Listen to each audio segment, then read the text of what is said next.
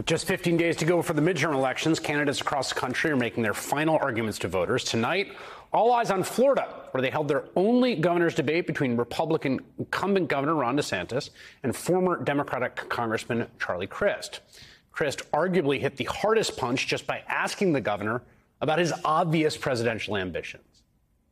Ron, you talk about Joe Biden a lot. I understand. You think you're going to be running against him. I can see how you might get confused. But you're running for governor. You're running for governor. And I have a question for you.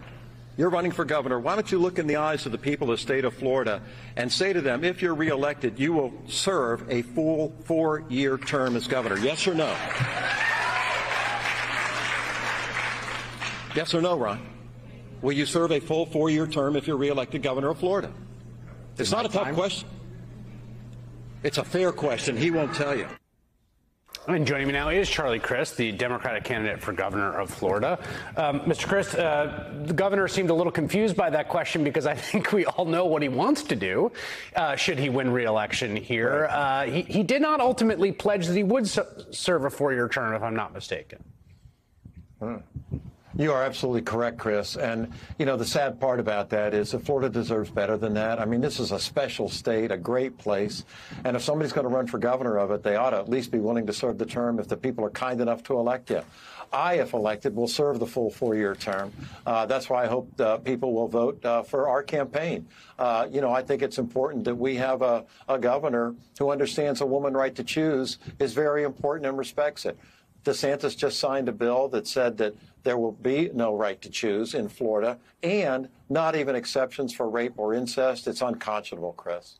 The, the bill he signed, which there was a, a bit of exchange about uh, this evening, was, I believe, a 15 week ban, which, of course, would be uh, uh, unconstitutional under Roe. It's only possible under the new Dobbs ruling. Do you think that's a popular position? I, I think Republicans tend to think, like, oh, that's the sort of in between compromise position. What do you think of it?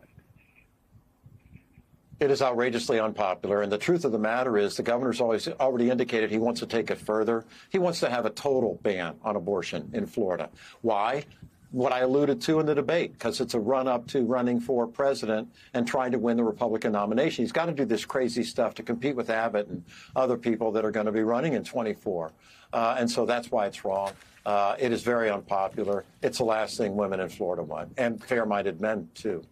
I, have noted something about uh, Ron DeSantis' stewardship of your state, which is that um, in some ways, in a fiscal setting, he's been playing on easy mode, partly because of the largesse of the American Rescue Plan, uh, which gave billions and billions of dollars to state budgets. Um, in fact, the stunt that he pulled where he shipped these migrants to an island in the Atlantic was paid for using money that was made from the interest on surplus federal funds for coronavirus relief.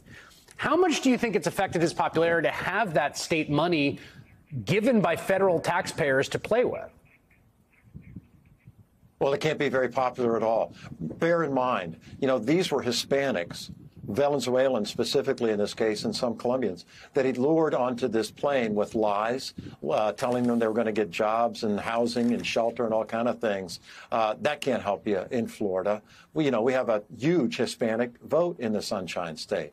And so if people want to help us, they ought to go to charliecrist.com and we can get rid of this guy and have some more decency in state government in Florida, which I think is really what Floridians want and deserve. Why do you want to be governor again? Because I love Florida. It's a great state, Chris, as you, I'm sure, are aware, uh, and we deserve better.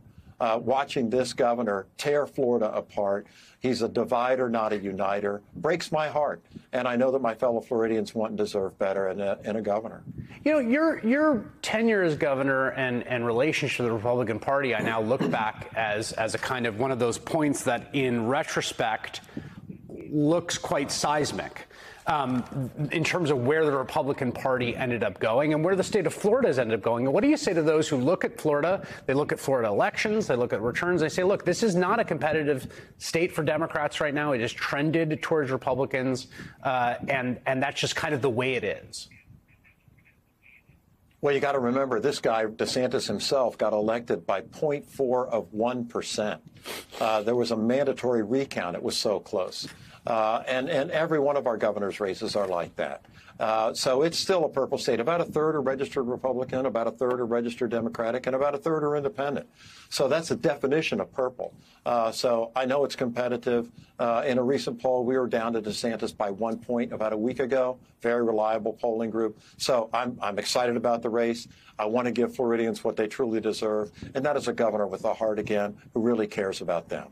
What do you say to obviously, if you're going to win, uh, you would have to outperform uh, the president's approval the state, for instance. And it was very clear tonight in the debate that Ron DeSantis was trying to tie you as much as possible to Joe Biden. What do you say to voters uh, who, who are maybe considering a vote for you, but but don't like the president or don't consider them Democrats, self Democrats, don't like congressional Democrats? What is your pitch to them?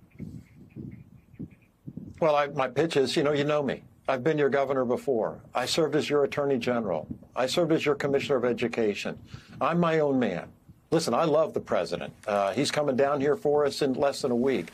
Um, but this is an election about governor of Florida, not about president of the United States. This is an election about who's going to be sitting in that chair when the Florida legislature sends an abortion total ban uh, to the governor I'm the one who will veto it. Ron DeSantis will sign it. That's the difference in this election. Florida, vote for what you think you want and what you deserve.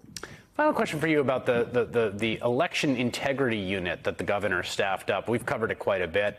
Um, big announcement, law enforcement behind him. We've seen the body cam footage of those individuals completely bewildered by a state that had told them they could vote and then went to arrest them. What do you think about that? Mm-hmm.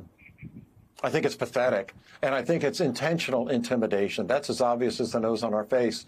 And so when the governor does something like that, that is really, when you think of it, Chris, anti democracy, he's yeah. trying to intimidate from voting by arresting people who have already been given a voter ID card. It's unconscionable. It's, it's shocking.